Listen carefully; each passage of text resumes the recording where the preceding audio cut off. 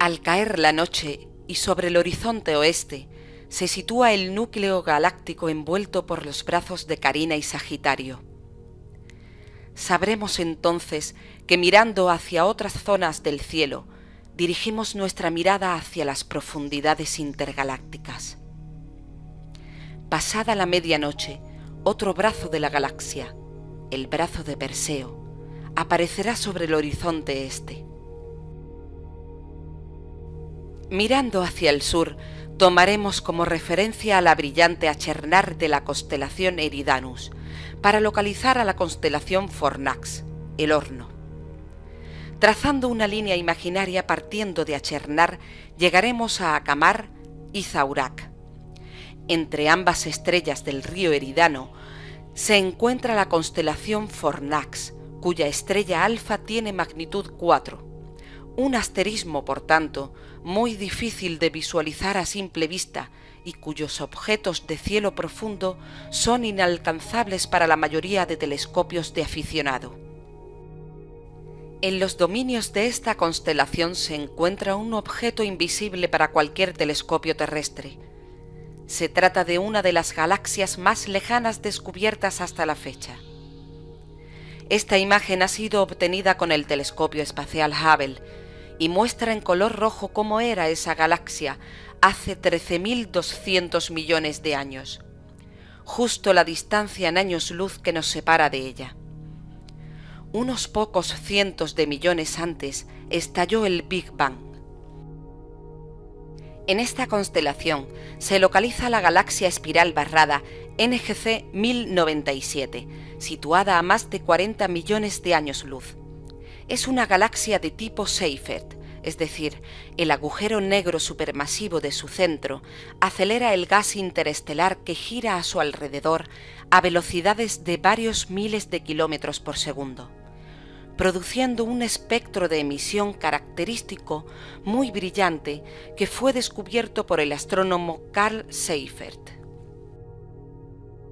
Ascendiendo un palmo visualizaremos la constelación Sculptor, el escultor no será fácil localizarla prolongando una línea que pase por Achernar y por Ankaa, la alfa de la constelación Fénix. Las estrellas que forman el asterismo están en el límite de la visión humana. En sus dominios se encuentra la galaxia espiral barrada NGC 253, también llamada la galaxia de la moneda de plata visible con prismáticos como una mancha borrosa, muestra sin embargo estructura definida con telescopios de gran diámetro. Las fotografías a distintas longitudes de onda revelan información sobre su verdadero aspecto. Mirando hacia el cielo norte podremos reconocer fácilmente un gran asterismo con forma de cuadrado en cuyos vértices se encuentran tres estrellas de la constelación Pegaso, y una de la constelación de Andrómeda. En Pegaso, NGC 7331 es una galaxia gemela a la Vía Láctea situada a 50 millones de años luz de distancia.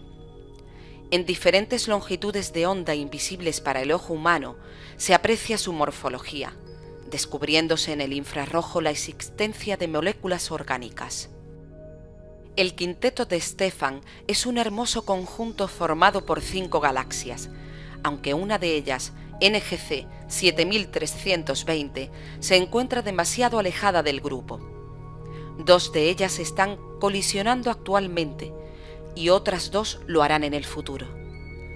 En cielos muy oscuros y con un telescopio de gran apertura se resuelven las galaxias con un sutil brillo grisáceo rodeadas por cuatro estrellas centinelas. Otro objeto destacado en esta zona celeste es el cúmulo globular M15.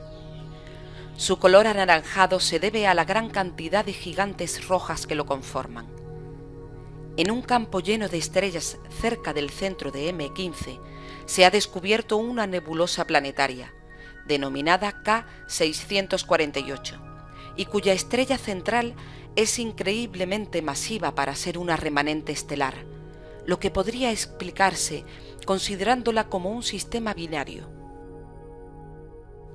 Este mes y el siguiente son propicios para la observación de la constelación de Andrómeda.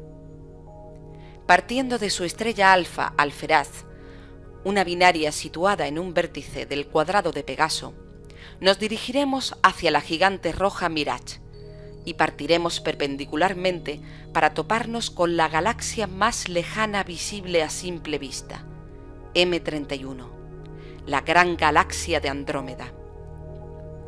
Unos prismáticos nos ofrecen una imagen grandiosa que cubre casi todo el campo de visión, apreciándose el bulbo central, muy luminoso, y el disco espiral, con un sutil tono azulado. Con telescopios tendremos que observar por sectores esta enorme galaxia que contiene más de 300.000 millones de soles y que se sitúa a menos de 3 millones de años luz de nosotros. Junto a esta isla de estrellas se encuentra la galaxia M32, una elíptica enana que muestra un enorme brillo dado su tamaño y que gira alrededor de M31. En la imagen también se aprecia la galaxia elíptica M110. Aunque se encuentre un poco alejada, se considera como otra galaxia satélite de M31.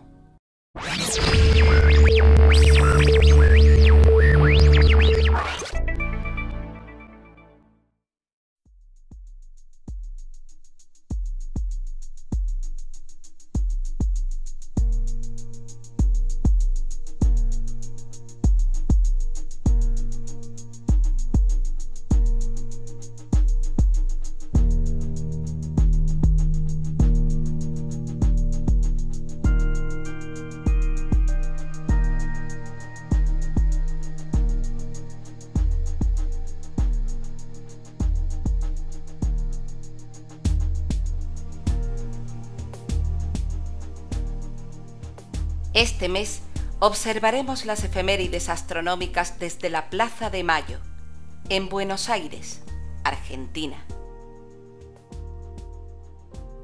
En su movimiento de traslación alrededor de la Tierra, la Luna acompañará en los amaneceres de los días 8, 9 y 10 a los planetas Venus, Marte y Júpiter respectivamente. Todos transitarán ante la constelación de Leo. Incluso el día 8, Venus se ocultará tras el disco lunar, siendo visible desde las tierras australianas. El día 11, la Luna ocultará a Mercurio y será posible observarlo desde Chile, mirando hacia el horizonte este al amanecer.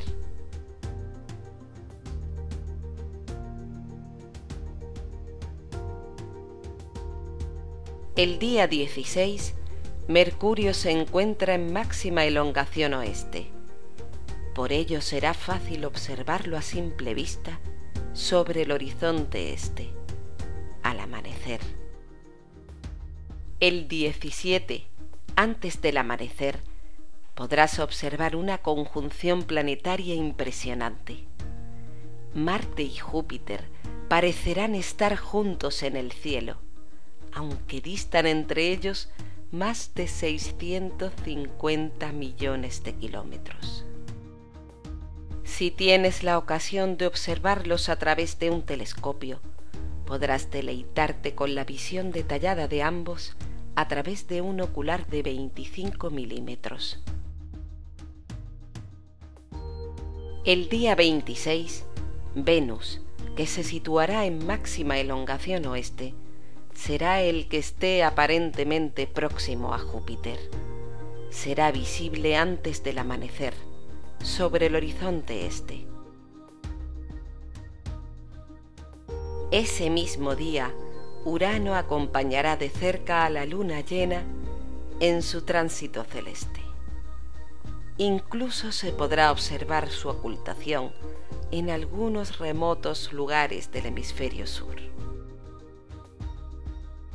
Los días 2 y 29 de octubre, la luna ocultará a la estrella Aldebarán, la más brillante de la constelación Tauro, siendo visible en Norteamérica y en el norte de Europa respectivamente.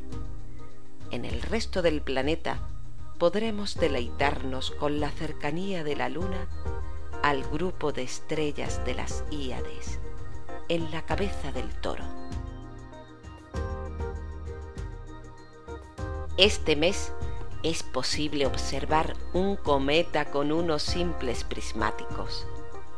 Procede de la nube de Oort y fue descubierto por el Observatorio de la Universidad de Arizona en octubre de 2013. Catalina C 2013 US10 Así ha sido denominado. Será visible tras la puesta de sol durante todo el mes de octubre, transitando por los dominios de la constelación de Centauro. Solo los habitantes del hemisferio sur podrán observarlo durante este mes. Será visible en el hemisferio opuesto a partir de finales de noviembre. Contempla la quietud del cielo sobre tu cabeza y percibirás el movimiento de la tierra bajo tus pies.